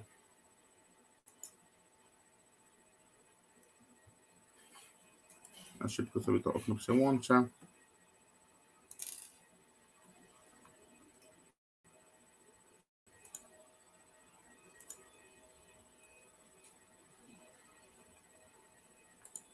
Ok, już jak widać e, wyświetlę to. Mam tu już szereg powiadomień, tak, o tu właśnie mdudek małpepa, uwaga kunap, e, zakończono skanowanie e, security checkup, tak, poprzez security counselor, e, więc tutaj już te powiadomienia mi przychodzą, więc wszystko jest tak naprawdę e, w jak najlepszym porządku. E, tutaj powiadomienia już mi wcześniej wyskakiwały, tylko że głównym ekranem jest drugi ekran, i to właśnie mi te powiadomienia wypychane z przeglądarki e, wyskakiwały. Więc e, tak, jak najbardziej to zadanie działa i to jest bardzo ważna kwestia, abyśmy sobie mogli właśnie skonfigurować te powiadomienia. Na początku sobie dodajemy jakiś serwer SMTP, jeżeli chcemy mailowo, ewentualnie SMS-em to SMSC. E, no i albo instalujemy aplikację Q-Manager, aby mieć powiadomienia wypychane na naszym telefonie, albo po prostu wypychamy sobie poprzez naszą przeglądarkę. Ok, e, jeszcze szybko wrócimy do tego centrum powiadomień, bo jeszcze jest jedna możliwość utworzenia. Ja sobie wyłączę to zadanie, żeby mi zaraz e, zostawimy nawet informację, czyli każde działanie, które bym teraz podejmował, e, będzie mi wyrzucane na pocztę. Nie chcę też zaspamić sobie skrzynki, więc wyłączę to, tą regułę. Ale oprócz reguł powiadomienia o zdarzeniach jest powiadomienia o alertach. I tutaj możemy sobie skonfigurować taką e, fajną rzecz, że wybieramy sobie jakiś tam poziom istotności, tak, informacje, ostrzeżenie błąd. Oczywiście możemy sobie wykluczać bądź e, uwzględniać tylko dane słowa, zakres czasu. I tutaj fajna rzecz, powiadamia mnie, gdy liczba, e, gdy liczba pozycji dziennika wygenerowanych w ciągu minuty przekroczy ten próg. Czyli jeżeli na przykład ostrzeżeń wyjdzie nam 10 w ciągu minuty, no to powiadomienie zostanie wysłane do nas na E, na nasz adres e-mail, na przykład, który sobie zdefiniujemy, czy w jakiś, jakikolwiek inny sposób, który tam zdefiniujemy i dzięki temu e, nie musimy od razu dostawać informacji o tym, co się dzieje, tylko o tym, że drogi użytkowniku czeka na Ciebie tyle i tyle powiadomień o poziomie istotności takim i takim, tak? I jest to również naprawdę fajna opcja, jeżeli mamy dostęp zdalny na przykład do naszego NASA i w każdym momencie możemy się do niego zalogować, zweryfikować, co się dzieje więc tak naprawdę jest to bardzo, bardzo e, fajna opcja. Ok, e, no i tutaj oczywiście dalej, tak jak w poprzednim przypadku, dodajemy sobie jakieś tam metody i odbiorców, e, no w tym przypadku ja tutaj sobie szybko zmienię na powiadomienie wypychane, podsumowanie, no i tak naprawdę kolejną zasadę mamy ustawioną. Więc tutaj mamy powiadomienia o poszczególnych zdarzeniach, tak, o tym, co się wydarzyło w danej części naszego systemu, a tutaj o alertach, że na przykład tyle i tyle alertów zostało wywołanych przez naszego NASA. Zapraszam Cię do e, sprawdzenia, co tam się najlepszego e, wyprawia. Ok. No i teraz przejdziemy sobie do najważniejszej z tych funkcji, czyli migawek. Aby skonfigurować sobie nasze migawki, przechodzimy do pamięć masowej migawki.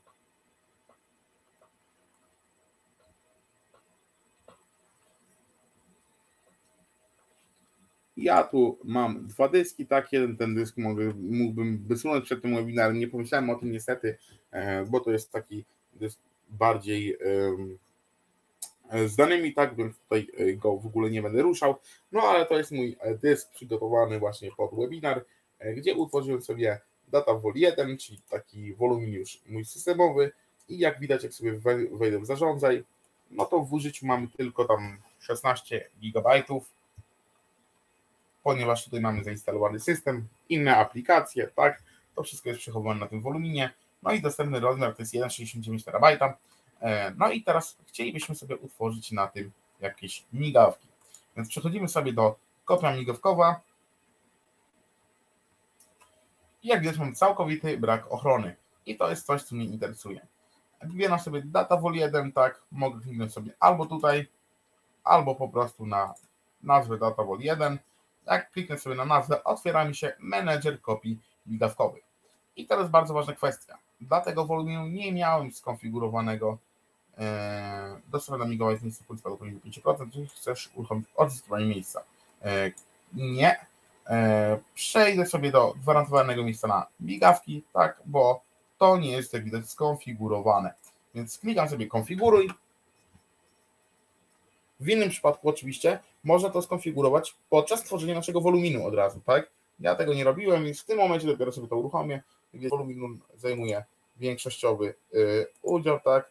No, aha, dobra. Tutaj utworzyłem sobie na cały wolumin yy, przestrzeń na cały wolumin tak naprawdę, tak? Na, na całą pulę pamięci, więc nie mam nawet miejsca na te migawki. Ja sobie tutaj cofnę, zmniejszę troszkę wielkość tego woluminu. Mam nadzieję, że to nie potrwa długo, chociaż e, E, no okej, okay, no, zrobię to, dobra. E, e, Pamięć masowa slash migawki i wracam sobie tutaj. Kliknę zarządzaj.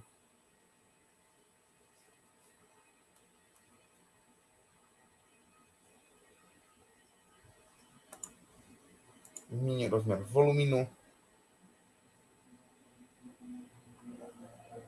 I zmienię go sobie tutaj na T1000 408 gigabajtów.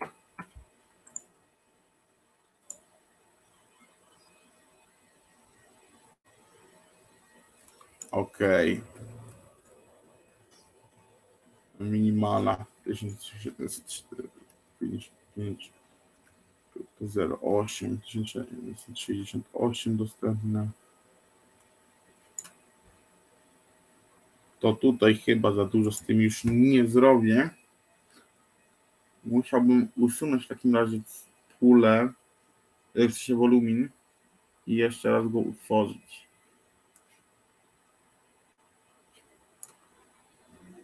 Ok, zrobię to szybko w inny sposób, żebyśmy tutaj nie przedłużali. Najszybszą opcją będzie po prostu wypnięcie jednego z dysków. Sekund. Aha, dobra, tutaj.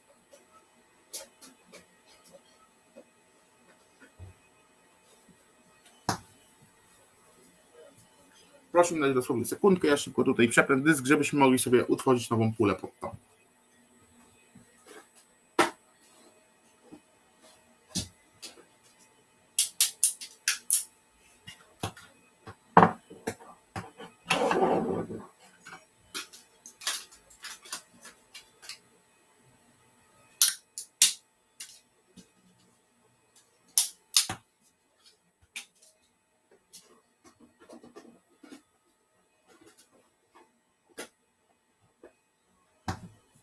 Ok, dysk przypięty. To mogę odpiąć. Zarządzaj. Ok, przeszło już tryb nieaktywny.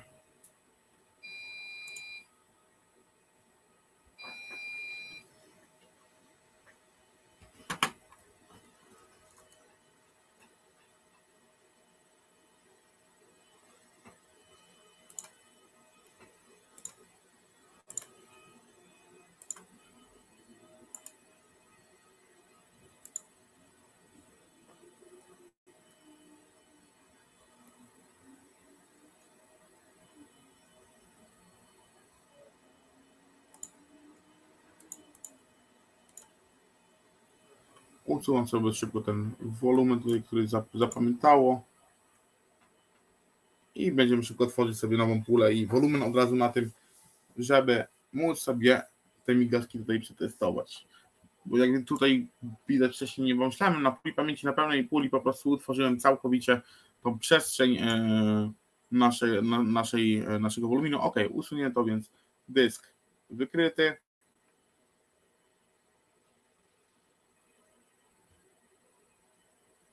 Ok, super. Jest wykryty dysk, nie jest podłączony do niczego, więc szybko tworzymy sobie nową pulę. To pomijam dysk drugi, typ pojedynczy. O, i tutaj sobie tworzymy właśnie gwarantowane miejsce na migawki, tak? Ja sobie tu ustawię na 5%, ale zaraz sobie pokażemy, jakie jeszcze mamy opcje tego gwarantowego miejsca na migawki. Przechodzę dalej. OK, niech się utworzy pula. Wiem, w sumie nawet fajnie, że tak wyszło, że musiałem ten dysk podmienić. To mogłem pokazać, że właśnie podczas tworzenia puli pamięci już możemy sobie skonfigurować jakieś tam gwarantowane miejsce na migawki. No a zaraz sobie tutaj jeszcze skonfigurujemy, pokażemy jak później, jeżeli sobie tego nie skonfigurowaliśmy podczas tworzenia puli, skonfigurować to miejsce na migawki.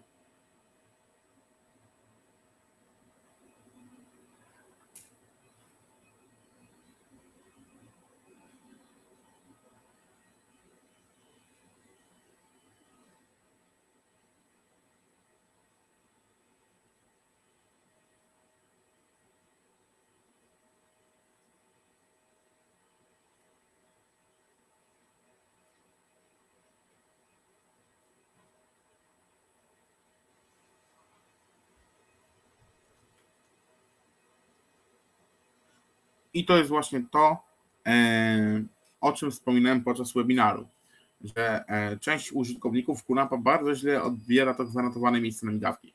E, tutaj doświadczeniem właśnie serwisowym już wiem, że zazwyczaj ludzie sądzą, że to gwarantowane miejsce na migawki to jest jakby ograniczenie ich przestrzeni. To tak nie działa. To gwarantowane miejsce na migawki jest tak naprawdę, sobie też przez 150, żeby nie było jakoś dużo, nawet nie, przypiszę 40 GB. To gwarantowane miejsce na migawki, to trzeba bardzo dosłownie czytać. Tak jak to mówi, to jest tylko gwarantowane miejsce na migawki, tak? Czyli mamy gwarancję, że w tej przestrzeni nie zapisze się nic innego oprócz migawek. Ale migawki, migawek nie da się ograniczyć. To znaczy, oczywiście odpowiednie wersjonowanie, e, odpowiednie zasady przechowania migawek ograniczają ich przestrzeń, ale nie da się z góry narzucić przestrzeni, która ograniczałaby migawki, tak? Czyli nie możemy ich ograniczyć. E, zaraz to przeczytam, bo tu widzę, że bardzo długi, e, bardzo, bardzo długi, e, bardzo długa wiadomość. Ok, chodzi o to, że tej przestrzeni na migawki nie możemy ograniczyć, tak? To gwarantowane miejsce zagwarantuje nam tylko to, że tam się, że na tej części puli pamięci nie zapisze się nic oprócz migawek, ale jeżeli byśmy mieli bardzo dużą ilość wersji migawek do przechowywania, tak, i te migawki byłyby naprawdę duże, no to mogłyby rzeczywiście zająć tam sporą część puli. Byłem na audycie nawet, gdzie e, klient prosił o audyt, bo coś mu się chciało z przestrzenią na nasie, że rzeczywistych danych miał około, e, powiedzmy tam sobie w skali 10 e, terabajtów, tak, a zużycie realne wynosiło około 32 terabajtów. No i się okazało, że migawki bardzo mocno na to wpłynęły, ponieważ przechowywane było tyle wersji, też tyle plików zmieniało, było usuwanych, dodawanych. E, to był taki szybki serwer wymiany, spory, gdzie naprawdę wrzucało się coś, ktoś sobie pobierał, działało się na tym, e, dobra, usuwamy, a to wszystko migawki przechowywały. Przez to, że tam było do wersji do przechowywania, nie pamiętam, ale naprawdę sporo, no to tutaj tak naprawdę ta przestrzeń w ciągu tych kilku miesięcy narosła tak, że wychodziło nam to realnie około tam, powiedzmy sobie właśnie te, tam, nie pamiętam ile to było, czy 12 terabajtów, czy 20 terabajtów to było, nie, nie, nie powiem dokładnie, ale więcej niż samych danych, tak? Więc tutaj bardzo ważna kwestia jest to, żeby odpowiednio ustawić sobie te polityki przechowywania migawek. Ok, mamy już pulę, mamy razem z woluminem, więc przechodzę sobie do kopii migawkowej. Aha, na początku zanim to utworzymy sobie jakiś folder współdzielony na tym woluminie, żeby tam było co, co migawkować, tak? Wrzucimy sobie jakieś dane. E, więc szybko utworzę folder udostępniony, nazwę go wymiana 2, z niego sobie będziemy korzystać, dla data vol 2, OK, przechodzę sobie dalej, admin od, zapis w porządku, pasuje, zakończ. Witam, mam problem z migawkami, a mianowicie migawki zajmują 1-2 terabajta. Po usunięciu wszystkich migawek zajętość niewiele się zmniejszyła.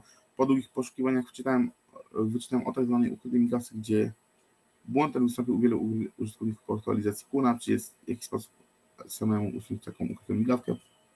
Problem nad wpisaniem migawki są numerowane w kolejności, nic nie dało. Na kuna pasaport znalazłem takie rozwiązanie. E, RM, etc, config, snapshot, miastka, storage, utils, startup, P2, też bez rezultatu. Yy, ok.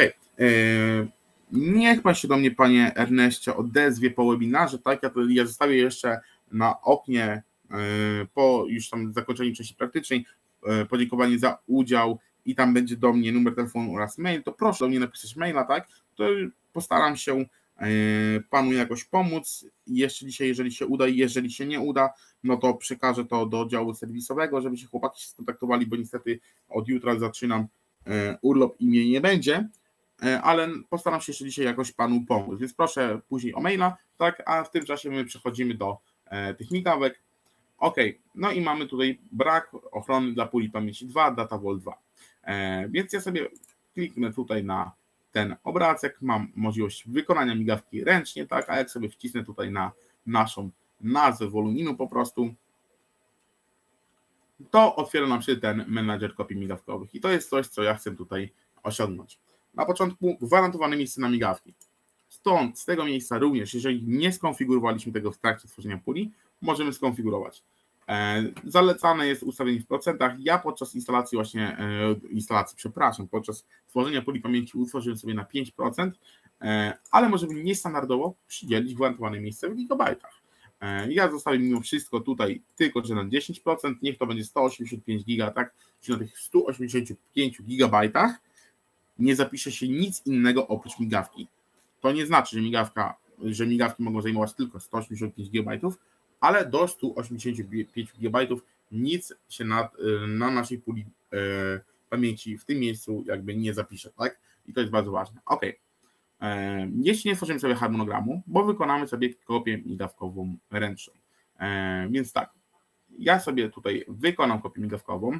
W tym momencie jeszcze nie mam danych na puli i tutaj mamy od razu informację o tym, że przy wykonywaniu migawek nasza wydajność może spaść trwale od 5 do 30%. Zazwyczaj to jest te bardziej 5% niż 30%, ale tutaj e, warto o tym e, wspomnieć i to wiedzieć, tak? I tak, jeżeli chodzi o nazwę kopii migawkowej, nazywają się w ten sposób. Strefa czasowa, e, data, przepraszam bardzo, i godzina, tak? Jak widać tutaj mam trochę tą strefę pomieszaną, ale już niech tak będzie, zachowam to sobie na stałe. Co to znaczy? Jeżeli kliknę zachowaj kopię migawkową na stałe, oznacza to, że jeżeli nawet będziemy mieli jakieś tam, e, jakieś tam polityki przechowywania naszych migawek, tak, to nie będzie, to e, ta migawka nie będzie brana pod uwagę. Czyli jeżeli przechowujemy sobie do 30 wersji, to tak naprawdę oprócz tej migawki będziemy mogli przechowywać jeszcze 30 innych migawek. Tą migawkę możemy usunąć tylko i wyłącznie ręcznie. OK. Tworzę sobie taką pierwszą migawkę i szybko bym wrzucił jakieś dane na tego swojego NASA. Więc ja sobie szybko tutaj odpalam połączenie 100, 182 admino hasło. Ok wymiana 2 to będzie mój katalog. E, i tutaj sobie coś wrzucę. Odpalę sobie szybko jeszcze jeden eksplorator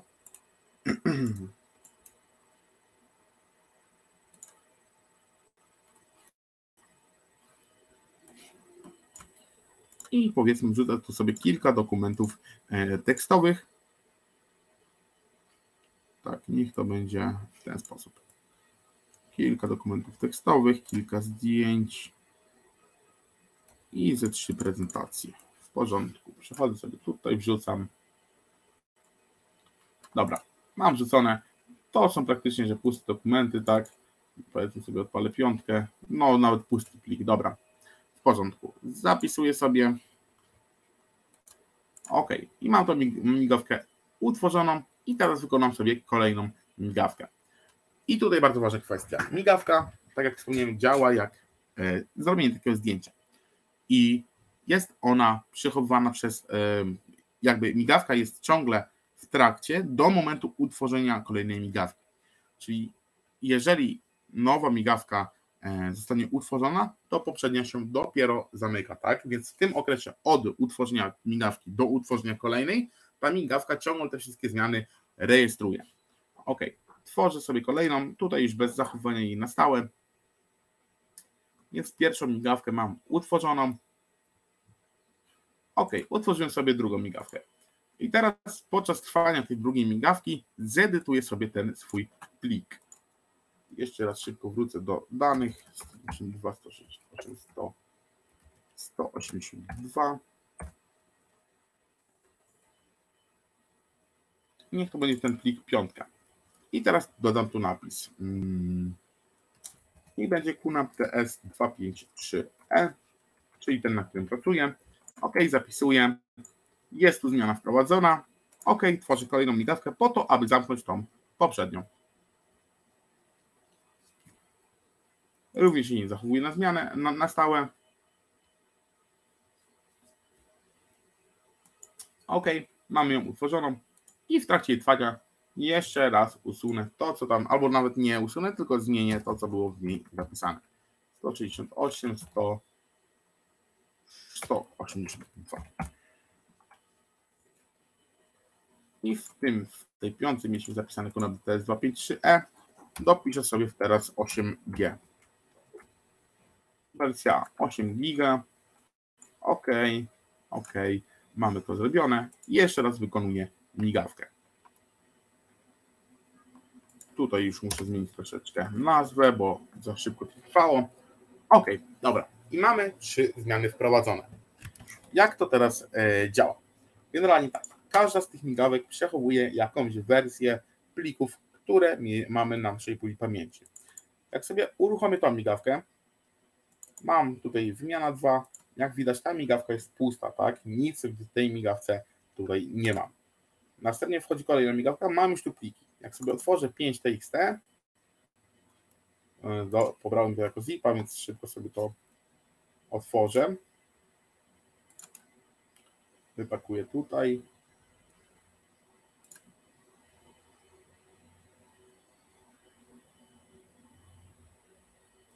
Oho, teraz to znajdź. Download, download, download. Będzie 04. Hu, hu, hu, hu. Jaki tam był ten opcji spuścić?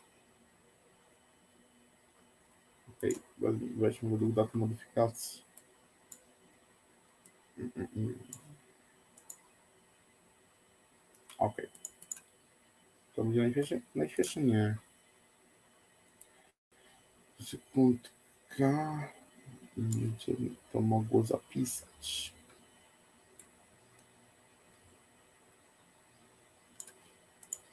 Ok, zrobię to inaczej. Po prostu wejdę w to i otworzę ten pliczek. Jak widać, jest w tym przypadku pusty. Ok. Przechodzę sobie do kolejnej jego wersji. No i jak widać, tutaj już jest 12 bajtów, tak? Czyli już coś w tym pliku na pewno jest. Szybko go pobiorę. OK. Już nawet dwukrotnie z rozkładu pobrałem. Przechodzę sobie z powrotem. I odpalam sobie kolejny. Zobaczymy jak tutaj rozmiar i widać, że to jest 12, tam było 0. Otwieram i przechowuję nazwę, e, napis QNAP TS253E. E, no i przechodzę do ostatniej wersji. Jak widać, jest 15 bajtów już, czyli to będzie ta nasza trzecia wersja. Ok, no ale nie fajnie się tak za każdym razem pobiera to wszystko w zipie, tak? Muszę to sobie pobierać, otwierać, wypakowywać, e, sprawdzać, co, co jaką wersję posiada, tak? Niewygodne, no niewygodne. Ale to wcale nie musi w ten sposób wyglądać. Mogę to sobie zrobić bezpośrednio z poziomu naszego eksploratora Windows. Jeżeli wiem, że mam tu jakieś dane, tak? No to jestem anuluj, hmm, przepraszam. to jestem w stanie sobie przejść po prostu w tą lokalizację, gdzie, na, gdzie to się e, znajduje.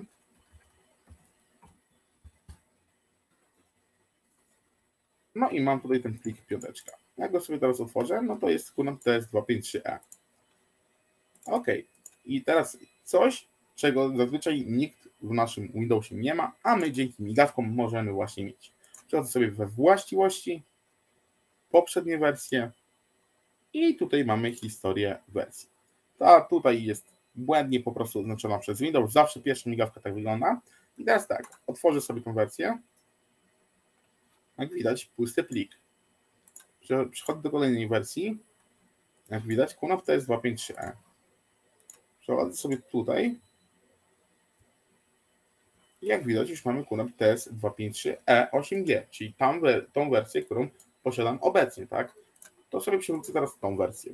E, jeszcze raz sprawdzę, która to jest wersja QNAP TS253E. E, przywracam sobie.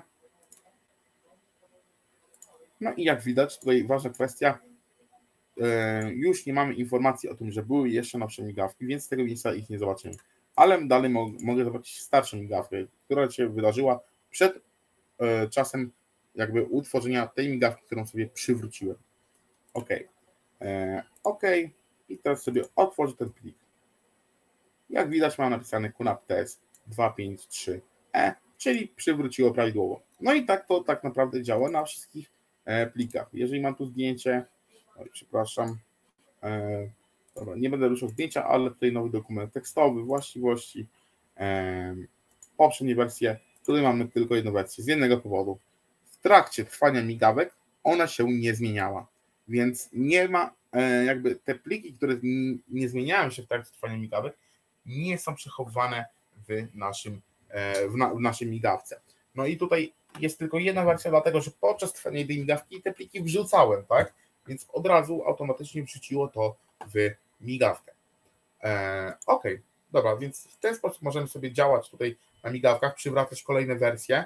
E, a teraz harmonogramy tworzenia kopii migawkowych.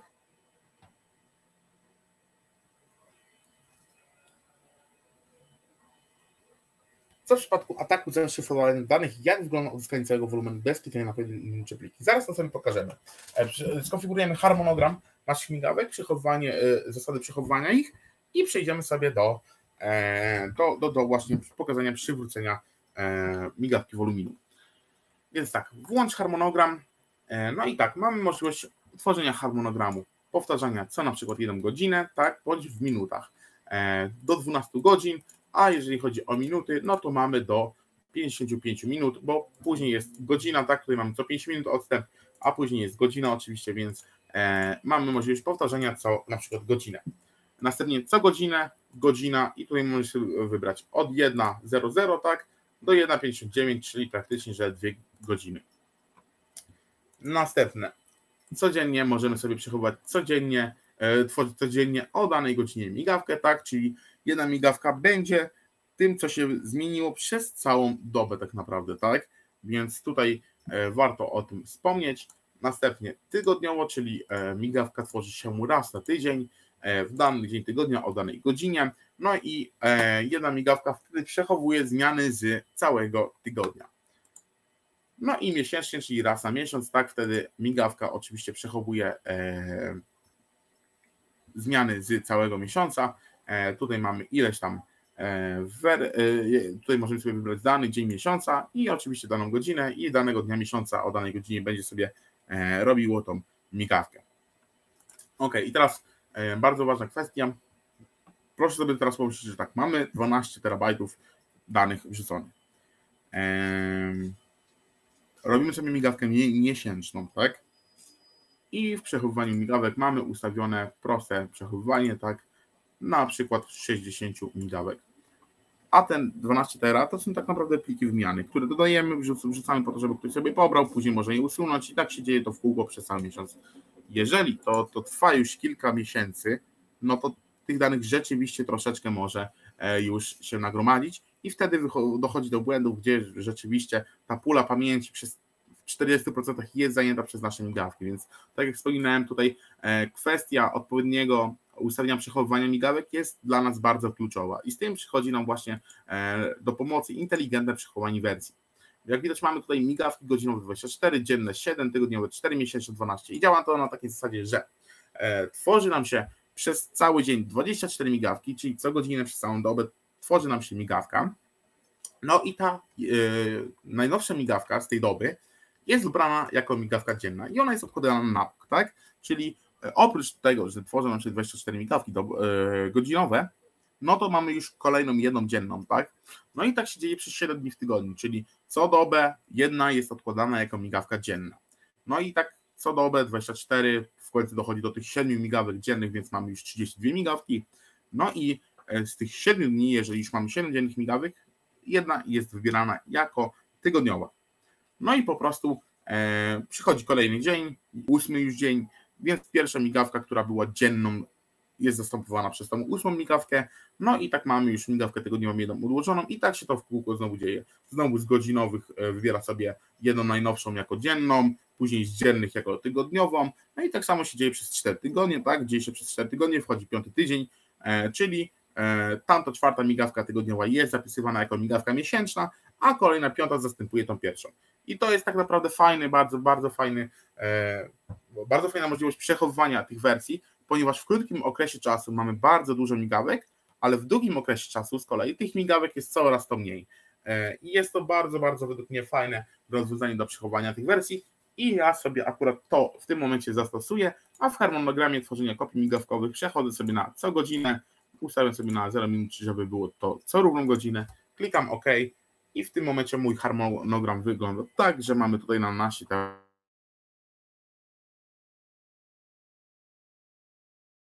migawka. Jak widać, jak wspomniałem, tutaj wychodzi na to, że północ, 24 wykona się e, kolejna migawka. OK, E, no i teraz kwestia, o którą tutaj pan Andrzej zapytał na czacie. Co w przypadku ataku zaszyfrowania danych, jak wygląda uzyskanie całego wolumenu? No i tutaj sobie to poruszymy, właśnie tę kwestię. E, mamy tutaj tą wersję, gdzie jest piątka TXT, gdzie tam ma najwięcej, więc to będzie z dopiskiem 8G. Ja sobie przywracałem tamtą, która ma teraz po prostu napis TS, QNAP TS 253E. E, więc tą migawkę mogę sobie przywrócić. Oczywiście z tego miejsca mogę sobie przywrócić plik bądź plik do, tak, wybieram sobie pojedynczy plik, ale mogę kliknąć przywróć migawkę woluminu. Jak sobie to kliknę, tak, wybiorę, mogę przywrócić do jakiejś tam e, lokalizacji, bądź przywrócić lokalnie, podmieni to w tym momencie moją, e, moje rzeczy, które tutaj się e, znajdują na, mojej, na moim woluminie. No ja sobie tą opcję wybiorę.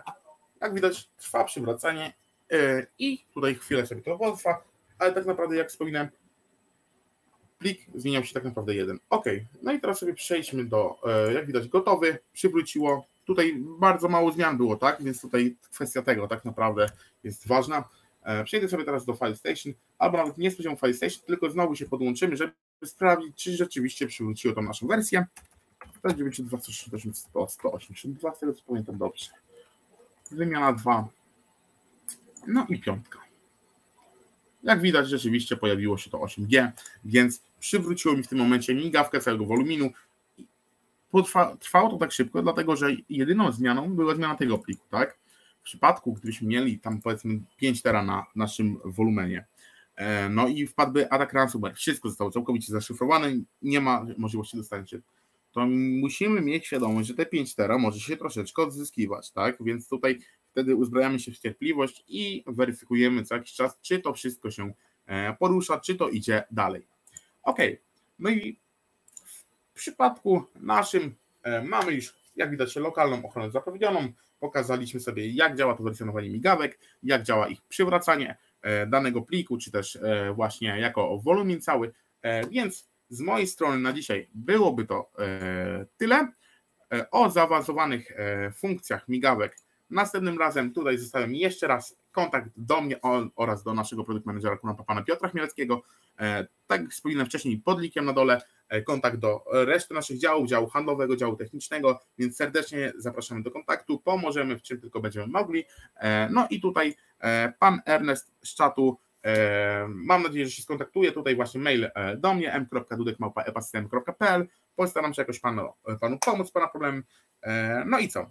Jeszcze raz serdecznie dziękuję za dzisiaj. Życzę e, reszty, e, mi- miłej reszty dnia. E, No i do zobaczenia już w tak naprawdę to będzie e, lipcu. E, I jeszcze raz e, wszystkiego e, dobrego.